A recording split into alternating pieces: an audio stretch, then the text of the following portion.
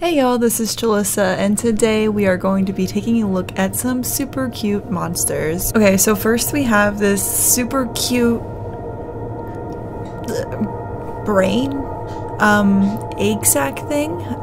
Um, I'm loving it. It looks really, really adorable. Um, I really love all, everything popping out of it. That looks fantastic. And next we have this super adorable cow, which is oh dear god. I think I'm gonna be sick. I can't I can't do this. I want the name and number of whoever told me these monsters were going to be cute, and I want them gone.